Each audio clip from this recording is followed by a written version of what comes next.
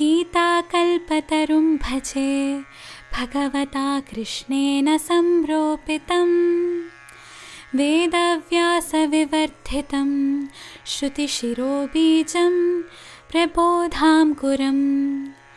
नानाशास्त्ररहस्यशाखमरतिक्षान्ति प्रवालाङ्कितं कृष्णां घित्वय भक्तिपुष्पसुरभिं మోక్షప్రదం జ్ఞానినా.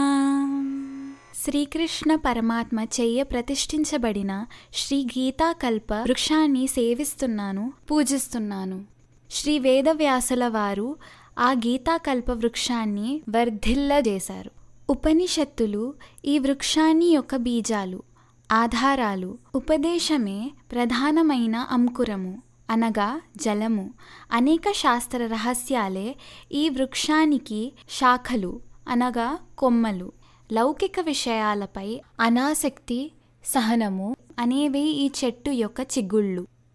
శ్రీకృష్ణ పరమాత్మ యొక్క పాద పద్మములపై భక్తియే పరిమళ ఫలితములైన ఈ వృక్ష పుష్పాలు. జ్ఞానులకు మోక్షము అనే పండ్లను అనుగ్రహిస్తుంది ఈ గీతాకల్ప వృక్షము. అలాంటి ఈ గీతాకల్ప వృక్షానికి నమస్కరిద్దాము. కృష్ణం వందే జగద్గురుం. ఓం శ్రీ గురుభ్యో నమ. గురవే సర్వలోకానాం भिषजे भवरोगिणां निधये सर्वविद्यानां दक्षिणामूर्तये नमः।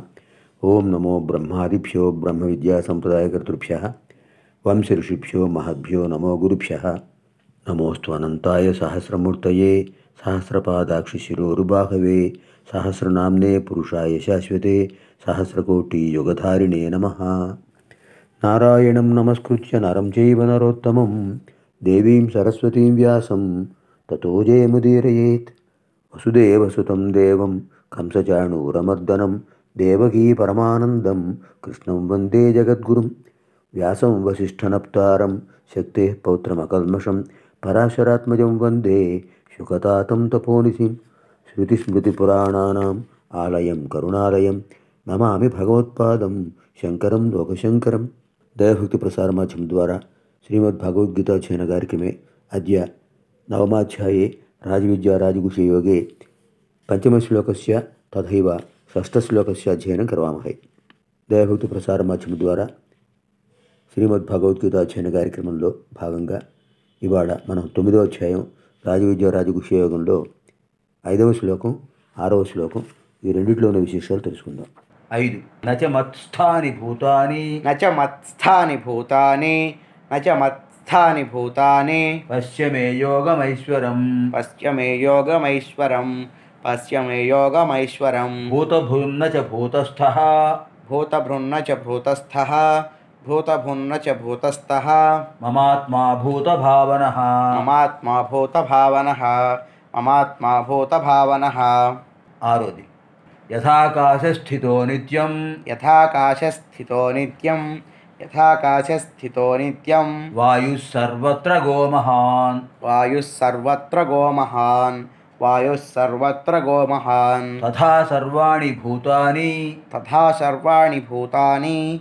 తథా సర్వాణి భూతాని. మతుస్థానీత్యుపధారయ. మతస్థానీత్యుపధారయ. మతస్థానీత్యుపధారయ. ఐదవ శ్లోకం. నచ మత్స్థాని భూతాని. పశ్యమే యోగమైశ్వరం. భూతభృన్న చ భూతస్థ అమాత్మా భూతభావన నచ మత్స్థాని భూతాని పశ్యమే యోగమైశ్వరం భూతభృ భూతభృన్న చ భూతస్థ భూతభృన్న చ భూతస్థ మమాత్మా భూతభావన ఇదానీం శంకరభాష్య విశేష సమస్త జీవులు నాలోనూ లేవు. అదే నా ఐశ్వర్య యోగం ఆత్మ సమస్త జీవులను సృష్టిస్తుంది భరిస్తుంది. వాటిలో ఉండదు వాటిగా ఉంటుంది. అది ఇక్కడ విశేషం. నచ మత్స్థాని భూతాని బ్రహ్మాదీని పశ్చిమే యోగం యుక్తిం ఘటనం చ మే మమ ఐశ్వరం ఈశ్వరస్య ఇమం ఐశ్వరం యోగం ఆత్మన యాథాత్మ్యం ఇత్యర్థ తథా చ శృతి అసంసర్గిత్వాత్ అసంగతాం దర్శయతి. అసంగో నహి సజ్జతే బృహదారణ్యకోపనిషత్తు ఇదం చ ఆశ్చర్యం అన్యత్ పశ్య భూతభృత్ అసంగోపి సన్ భూతాని బిభర్తి నచ భూతస్థ యథోక్తేన న్యాయేన దర్శితత్వాత్ భూతస్థత్వ అనుపపత్తే కథం తు పునరుచ్యతే అసౌ మమ ఆత్మా ఇది విభజ్య దేహాది సంఘాతం తస్మిన్ అహంకారం అధ్యారోప్య లోకబుద్ధిం అనుసరతి వ్యపదిశ్యతి మమ ఆత్మా ఇది న పునః ఆత్మనः ఆత్మా అన్యः ఇది లోకవత్ అజానన్ తథా భూతభావన భూతాని భావయతి ఉత్పాదయతి వర్ధయతి ఇది భూతభావన. ఇక్కడ స్వామి చెప్తున్నారంటే బ్రహ్మాది పిపీలిగాది బ్రహ్మ పర్యంతం ఇవన్నీ కూడా నాలో లేవు. నా యొక్క ఈ యోగాన్ని యుక్తిని ఘటనను బ- దర్శించు. ఆత్మ యొక్క యథార్థతత్వం తెలుసుకో. దేనితోనూ సంగము లేనిది ఆత్మ. అది దేనికి అంటుకోదు. అదే ఆత్మ యొక్క నిర్లిప్తత. ఇంకొక ఆశ్చర్యం ఏంటంటే సంఘరహితమై కూడా ఆత్మభూతాలను భరిస్తూ ఉంటుంది. అదే మనకు సాంఖ్యయోగంలో చెప్పారు కదా నయనం ఛందంతు శస్త్రాణి నయనం దహతి పావక నచైనం క్లేదయంత్యాప నశోషయది మారుత. అలాంటి సంఘరహితమైన ఆత్మ తామరాకుపై నీటి బొట్టులాగా నిర్లిప్తంగా ఉంటూ కూడా అన్నిటినీ భరిస్తోంది. అన్ని జీవులలోనూ ఉంటుంది ఉన్నట్టు ఉండదు. భూతాలను భరిస్తోంది కానీ వాటిలో ఉండట్లేదు. అంటే మరి ఆత్మ ఏమిటి జీవాత్మ? అంటే అది పరమాత్మ యొక్క అంశ. ఇంతకుముందు చెప్పిన న్యాయం ప్రకారం పరమాత్మ పరమాత్మ భూతాల్లో ఉండడం అసంభవం.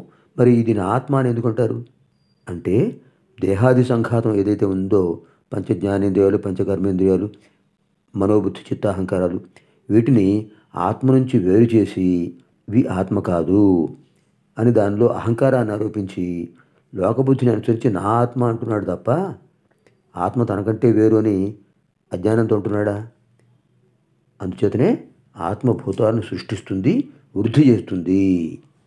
ఇదానీ పదవిభాగ.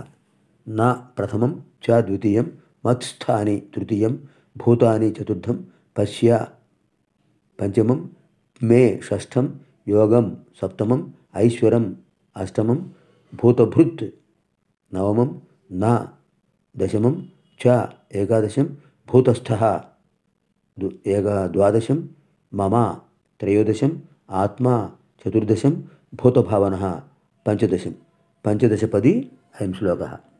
పునః పరిణయామ నా ప్రథమం చ ద్వితీయం మత్స్థాని తృతీయం భూతాని చతుర్థం పశ్య పంచమం మే షష్ఠం యోగం సప్తమం ఐశ్వరం అష్టమం భూతభృత్ నవమం నా దశమం చ ఏకాదశం భూతస్థ ద్వాదశం మమ త్రయోదశం ఆత్మా చతుర్దశం భూతభావన పంచదశం. పంచదశపది అయం శ్లోక. ఈ శ్లోకంలో పదిహేను పదాలున్నాయి. ఇదానీం అన్వయక్రమ. భూతాని మత్స్థాని నా. మే ఐశ్వరం యోగం పశ్య. భూతభావన చ భూతభృత్ చ మమ ఆత్మ భూతస్థ నా. ఇక్కడ చెప్పేది ఎవరు పరమాత్మ. అంచేతే ఆయన ఏమంటున్నారు? మమ ఆత్మ అంటున్నారు. మమ ఆత్మ అంటే పరమమైన ఆత్మ. ఇది దృష్టిలో పెట్టుకోవాలి. లేకపోతే చాలా సందేహ సందేహాస్పదంగా ఉంటుంది. సరైన అవగాహన లేకపోతే సంశయాత్మావే నశ్యతి. సరైన అవగాహన ఉండదు. అందుచేత ఇక్కడ ప్రత్యేకంగా మమ ఆత్మ అని స్వామి చెప్పడంలో పరమమైన ఆత్మ పరమాత్మ తత్వాన్ని గ్రహించాలి. పరమాత్మ నిర్వికారం నిరాకారం నిర్గుణత్వం కలిగింది. సృష్టి స్థితి లయలకు కారణం అదే. పునః భూతాని మత్స్థానాన్ని నా అంటే నభవంతి మే ఐశ్వర్యం యోగం పశ్య. భూతభావనశ్చ భూతభృత్య మమ ఆత్మ భూతస్థ నభవతి నాలుగో శ్లోకంలోని విశేషాన్ని ఇక్కడ బా- ఇంకా స్పష్టంగా చెప్పారు. నాలుగో శ్లోకంలో ఏం చెప్పారు? పరమాత్మ దేనిలోనూ ఉండడు అని చెప్పారు. అదే విశేష విషయాన్ని మరికొంత విశేషమైన వివరణతో ఇక్కడ చెప్తున్నారు. పదార్థోక్తి భూతాని జీవులన్నీ జీవులు మత్స్థాని నభవంతి. నాలో స్థిరముగా లేవు. ఉంటుంటాయి పోతుంటాయి అంతర్గతంగా ఉంటాయి మళ్ళీ వ్యక్తం అవుతుంటాయి అవ్యక్తంగా ఉంటాయి వ్యక్తంగా ఉంటుంటాయి సృష్టి జరిగితే కనిపిస్తాయి వ్యక్తంగా ఉంటాయి. లేకపోతే లయలో అంతర్గతంగా ఉంటాయి. అంచేత అవి స్థిరంగా ఉంటాయా? కావు. కానీ నేను స్థిరంగా ఉంటాను. జీవులు స్థిరంగా ఉండవు. కారణం వస్తున్నాయి పోతున్నాయి పుడుతుంటాయి గిడుతుంటాయి. మే ఐశ్వర్యం యోగం పశ్య. నా యొక్క అద్భుతమైన యోగశక్తిని చూడు. ఇది ఆధిపత్యం కలిగిన యోగశక్తి. ఐశ్వర్యం అంటే ఈశ్వరత్వం కలిగింది ఆధిపత్యం కలిగింది. అలాంటి విశేషమైన తత్వాన్ని పశ్చాచూడు చూడు. అది ఎలా ఉంటుంది? భూత భావన జీవులను సృష్టించేటటం సృష్టించడం చ మరియు భూతభృత్ చ జీవులను ధరించటం అంటే సృష్టి స్థితి. ఈ రెండు కూడా ఎవరు చేసేది? మమ ఆత్మ. మమ ఆత్మ నా యొక్క తత్వము పరమమైన ఆత్మతత్వము. అందుచేత అది భూతస్థ నా జీవులలో లేదు. జీవులలో లేదది. కారణం ఏంటి జీవులు అశాశ్వతములు. అశాశ్వతమైన అశాశ్వతములైన వాటిల్లో తాత్కాలికంగా ఉంటుంది తప్ప శాశ్వతంగా ఎందుకు ఉంటుంది? అంచేత లేనట్టే పునః పరిశీలయామ భూతాని మత్స్థాని నా. జీవులన్నీ నాలో స్థిర నాలో లేవు. అంటే స్థిరంగా ఉండవు. మే నా యొక్క ఐశ్వర్యం యోగం. ఆధిపత్యం కలిగిన యోగశక్తిని పశ్య చూడు దర్శించు పరిశీలించు. ఎలా ఉంటుందో తెలిసిన అది? భూత భావన జీవులను సృష్టించే తత్వం చ మరియు భూతభృత్ చ జీవులను భరించే తత్వం. ఈ రెండు నాయకతత్వాలే. అంచేత మమ ఆత్మ నా యొక్క ఆత్మ పరమమైన ఆత్మతత్వం భూతస్థ నా. భూతస్థ నా భవతి జీవులలో ఉండదు. ఈ ప్రాణులన్నీ నాలో స్థిరంగా లేవు. ఈశ్వరీయమైన నా యోగశక్తిని చూడు ఒకసారి. ఈ పోతాలను సృష్టించేది నేనే పోషించేది నేనే. అయినా కూడా యథార్థంగా నా ఆత్మ వాటిలో స్థిరంగా ఉంటుందా? ఉండదు. సమస్త జీవులు తనలోనే ఉన్నవని చెప్తున్నారు కదా? ఇంతకుముందు. కానీ ఇప్పుడేం చెప్తున్నారు? తనలో లేవని చెప్తున్నారు. ఏమిటి? విరుద్ధ ప్రకటన? చాలా జాగ్రత్తగా పరిశీలించారు అదే వేదాంత తత్వం. అందుకనే దివ్యయోగ శక్తిని తెలుసుకో అంటున్నాడు స్వామి. యోగశక్తి అసాధారణం. ఆకాశంలో మేఘాలు ఎప్పుడు ఉంటాయా? కొంతసేపే ఉంటాయి. అలాగే సమస్త జగత్తు భగవంతుల్లో కొంత స్థితి కొంతసేపే ఉంటుంది. మరి నిజానికి నిజానికి మేఘాలే ఆకాశమా? కాదు కదా. ఆకాశం అంటే మేఘాలు అని చెప్తామా మేఘాలు అంటే ఆకాశం అని చెప్తామా కాదు కదా. అంచేత మేఘాలకు ఆధారం ఆకాశం అంతే. మేఘాలు సర్వదా దానిలో ఉండవు. వస్తుత అవి అశాశ్వతములు. వాటికి స్థిరమైన ఉనికి లేదు. అలా గాలిలో తేలిపోతూ ఉంటాయి. కనుక ఆకాశంలో అవి లేవు. అదేవిధంగా సమస్త జగత్తు భగవానుడి యొక్క యోగశక్తి నుంచి ఉత్పన్నమైనది. ఆయన యోగశక్తి నుంచే వ్యక్తమైంది. ఆయనే ఆధారం దానికి. అంతే సర్వభూతాలు అతనిలో స్థితములై ఉన్నవి. కానీ వాటికి అతీతుడైన అంచేత ఆకాశంలో మేఘాలు ఎల్లప్పుడూ ఎలా ఉండవో అలాగే జీవులన్నీ ఆయనలో ఎల్లప్పుడూ ఉండవు. కనుక లేనట్టే. కానీ భగవంతుని కన్నా భిన్నమైన వస్తువు ఉంటుందా? లేదు. అందుచేత భగవానుడు తాను చెప్పినటువంటి విషయాన్ని మరింత స్పష్టంగా ఇక్కడ వివరిస్తున్నారు. అయితే ఈ సృష్టి అంతా కూడా కనిపిస్తోంది కదా? దీని రహస్యం ఏమిటి? అందుకే ఏం చెప్పారు స్వామి? అందుకే అర్జున నా అసాధారణమైన యోగశక్తి ఎంత ఆశ్చర్యకరమో చూడు పరిశీలించు అన్నారు స్వామి. జగత్తంతా నా ఎందు ఉన్నట్టే కనిపిస్తుంది కానీ నేను తప్ప ఏదీ లేదు. మనిషి దృష్టిలో జగత్తు ఉన్నంత వరకు అంతా అతనిలోనే స్థితమై ఉంటుంది. కానీ వాడు శాశ్వతమా? అంటే జగత్తుకు ఇతరమైన ఆధారం ఏది లేదు. భగవంతుడు తప్ప. వాస్తవంగా అన్నీ కూడా భగవంతుడే. భగవంతుడు తప్ప ఏదీ లేదు. సాధకుడికి భగవత్ సాక్షాత్కారం అయిన అవగానే ఈ విషయం స్పష్టమవుతుంది. అప్పుడు అతని దృష్టిలో భగవంతుడి కంటే వేరైన వస్తువు ఏదీ లేదు అనే ఒక నిర్ణయం కలుగుతుంది. కనుక సర్వభూతములు సమస్త జీవులు వస్తుధాతంలో లేను లేవు అని భగవద్ భగవంతుని యొక్క విశేషమైన ఉపదేశం. జ్ఞాన దృష్టితో చూస్తే ఇది సరైనది. ఐశ్వరం యోగం అంటే ఏమిటి? ఈశ్వరీయమైన ఈశ్వరుడు అంటే అధిపతి. అన్నిటిపై అందరిపై ఆధిపత్యం కలిగిన వాడు ఈశ్వరుడు. ఆయన యొక్క శక్తే యోగము. అన్నిటినీ సృష్టిస్తుంటాడు. అన్నిటినీ అన్నిటిలోనూ వ్యాపించి ఉంటాడు. అన్నిటినీ పోషిస్తూ ఉంటాడు. అన్నిటినీ లయం చేసుకుంటాడు. తనలో అంతర్గతం చేసుకుంటాడు. ఇదే యోగశక్తి. అందుకనే భూతభృత్ భూతభావన అనే విశేషాలు చెప్పారు. అంతే దీన్ని బట్టి మనకు ఏం తెలుస్తుంది వాస్తవంగా భగవంతుడు జగత్తుకు అతీతుడు. ఆ విషయాన్ని స్పష్టం చేయడం కోసమే. భూతస్థ నా అని చెప్పారు. అంటే ఈ విషయాన్ని చాలా జాగ్రత్తగా అవగాహన చేసుకోవాలి. భగవంతుడు జీవిలో ఉన్నాడా? జీవిగా ఉన్నాడా?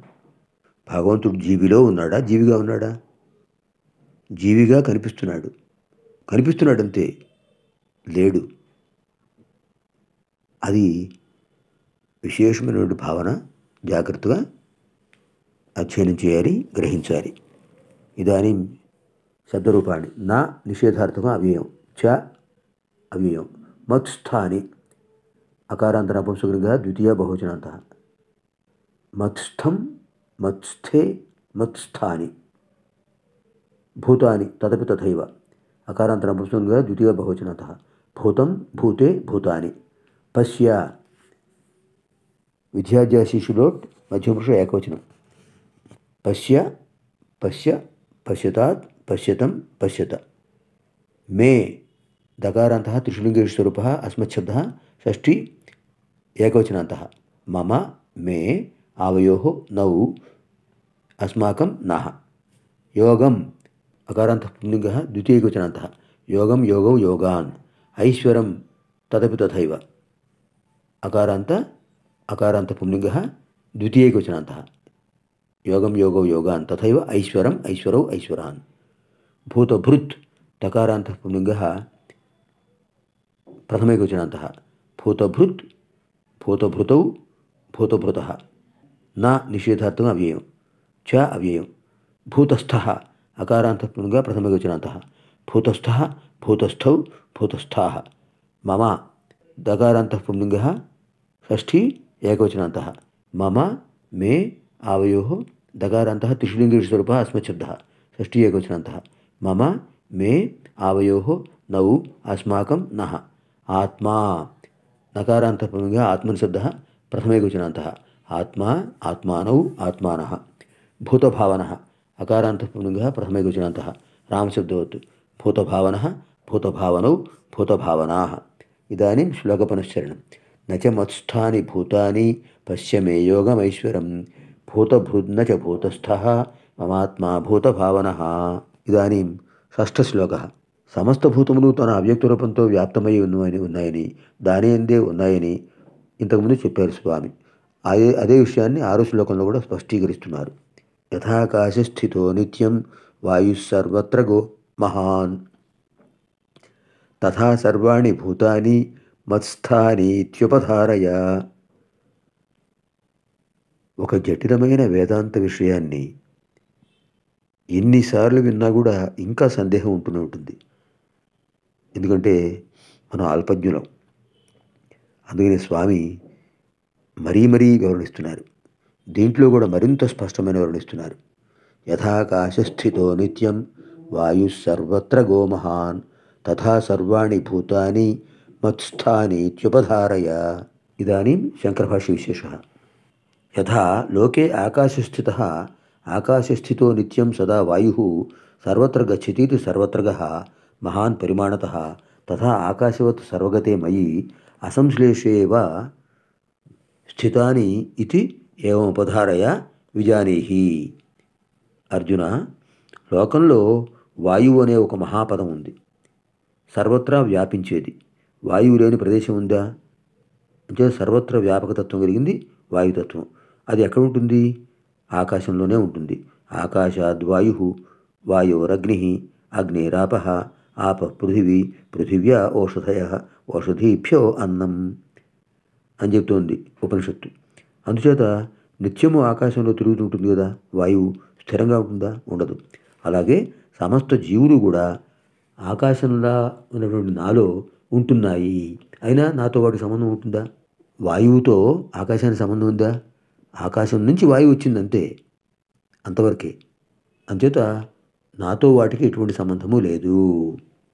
ఇదానీ అస్మిన్ శ్లోకే పదవిభాగ యథా ప్రథమం ఆకాశస్థిత ద్వితీయం నిత్యం తృతీయం వాయు చతుర్థం సర్వత్రగ పంచమం మహాన్ షష్ఠం తథా సప్తమం సర్వాణి అష్టమం భూతాని నవమం మత్స్థాని దశమం ఇది ఏక ఏకాదశం ఉపధారయ ద్వాదశం. పునః పరిగణయామ. ద్వాదశపది. యథా ప్రథమం ఆకాశస్థిత ద్వితీయం నిత్యం తృతీయం వాయు చతుర్థం సర్వత్రగ పంచమం మహాన్ షష్ఠం తథా సప్తమం సర్వాణి అష్టమం భూతాని నవమం మత్స్థాని దశమం ఇది ఏకాదశం ఉపధారయ ద్వాదశం. ద్వాదశపది అయం శ్లోక. అనంతరం అన్నవిక్రమ. సర్వత్రగ. మహాన్ వాయు. యథా నిత్యం ఆకాశస్థిత. తథా భూతాని సర్వాణి మత్స్థాని ఇది ఉపధారయ. జీవులన్నీ భగవంతుడిలో ఉన్నాయి. ఎలా ఉన్నాయి? ఆకాశంలో వాయువు ఉన్నట్టే. కానీ వాయువు స్థిరంగా ఉందా? లేదు కదా? జీవులు అంతే. అద్భుతమైనటువంటి ఉపమానం చెప్పారు ఇక్కడ. పరమాత్మ. సర్వత్రగ మహాన్ వాయు యథా నిత్యం ఆకాశే స్థిత తథా భూతాని సర్వాణి మత్స్థాని ఇది ఉపధారయ. సర్వత్రగ అంతటా సంచరించడం. సర్వత్ర అంటే అంతటా. గా అంటే వెళ్ళేది సర్వత్ర గచ్చతీతి సర్వత్రగ. సర్వత్ర గచ్చతీతి సర్వత్రగ అంతటా వెళుతూ ఉండేది సంచరిస్తూ ఉండేది. అంతటా సం- ఉండేటటువంటి సంచరించేటటువంటి మహానువాయు గొప్పదైన ఈ వాయుతత్వం ఏదైతే ఉందో యథా ఏ విధంగా నిత్యం నిరంతరము ఆకాశస్థిత ఆకాశంలోనే ఉంటుంది కదా. తథా ఆ విధంగానే భూతాని జీవులు సర్వాణి అన్నీ కూడా మత్స్థాని నాలో ఉంటాయి. ఇది అని ఉపధారయ గ్రహించు. వాయువు ఏ విధంగా ఆకాశంలో సంచరిస్తూ ఉంటుందో ఆకాశం కంటే భిన్నమై ఉంటుందో ఆకాశంలో అంతర్గతం కాదో అదేవిధంగా జీవులన్నీ కూడా నా అంతర్గతం నాలో నాలో అంతర్గతం కావు. కానీ నేనే వాటికి ఆధారాన్ని ఆధారం. ఆకాశం ఆధారంగా వాయువు ఎలా సంచరిస్తుందో నా ఆధారంగా నేను ఆధారంగా చివులు పుడుతున్నాయి గిడుతున్నాయి. ఈ విషయం నువ్వు తెలుసుకోవాలి. సర్వత్రగ అంతటా సంచరించేటటువంటి మహానువాయువు గొప్పదైన ఆ వాయువు గాలి యథా ఏ విధంగా ఉంటుందో యథా ఏ విధంగా నిత్యం నిరంతరము ఎల్లప్పుడూ ఆకాశస్థుత ఆకాశంలోనే ఉంటుందో తథా ఆ విధంగానే భూతాని జీవులన్నీ కూడా అంటే నా సంకల్పం వల్ల ఏర్పడే భూతాలు అని అర్థం. సర్వాణి అన్నీ కూడా అన్ని ప్రాణులు కూడా మత్స్థాని నాయందే ఉంటాయి. ఇది ఓధారయ అని గ్రహించు. ఆకాశంలో ఏర్పడినటువంటి వాయువు ఆకాశంలో సంచరిస్తూ ఆకాశంలోనే ఉంటూ ఉంటుంది. ఆకాశద్వాయు దాని నుండే వచ్చింది వాయువు. శూన్యం లేకపోతే గాయ గాలి ఎలా వస్తుంది? శూన్యం ఉంటేనే కదా అన్నిటికీ అవకాశం ఇచ్చేదే ఆకాశం. అలాగే నా సంకల్పం ద్వారా ఉత్పన్నమైన జీవులన్నీ కూడా ప్రాణులన్నీ కూడా నాయందే ఉంటాయి. ప్రాణులను వాయువుతో పోల్చడం దేనికి అంటే వాయువు సర్వత్రా సంచరిస్తుంటుంది. జీవులు కూడా అనేక జన్మలలో జననం మరణం పునరపి పునరపమరణం మరణం అలా పరిభ్రమిస్తూ ఉంటాయి. అంచేతే మహాన్ విస్తృతమైన వాయు శబ్దంతో పోల్చారు ఇక్కడ. భూతాలు కూడా జీవులు అనంతం కదా? ఇంకా నిత్యం అని చెప్పడంలో అర్థం ఏమిటి వాయువు ఆకాశంలోనే ఉత్పన్నమైంది. ఆకాశంలోనే ఉంటుంది. ఆకాశంలోనే లీనమైపోతుంది. దానిలోంచి వచ్చింది దానిలోనే లీనమైపోతుంది.